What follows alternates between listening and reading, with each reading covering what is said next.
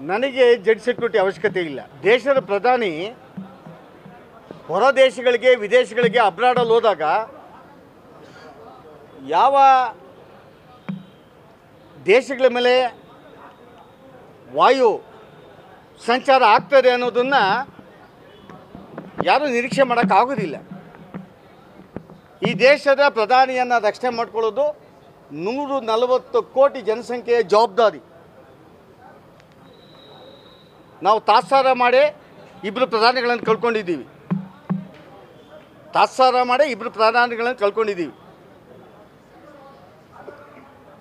ಪ್ರಧಾನಿ ಬಗ್ಗೆ, ರಾಷ್ಟ್ರಪತಿಗಳ ಬಗ್ಗೆ, ಉಪರಾಷ್ಟ್ರಪತಿಗಳ ಬಗ್ಗೆ ತಾತ್ಸಾರದ ಮಾತು, ತಿರಸ್ಕಾರದ ಮಾತು, ಅನುಭವಿ ರಾಜಕಾರಣಿಗಳ ಬೈ ಬಾಯಲ್ಲಿ ಬರಬಾರ್ದು ಅಂತ ಹೇಳೋದಕ್ಕೆ ಇಷ್ಟಪಡ್ತೇನೆ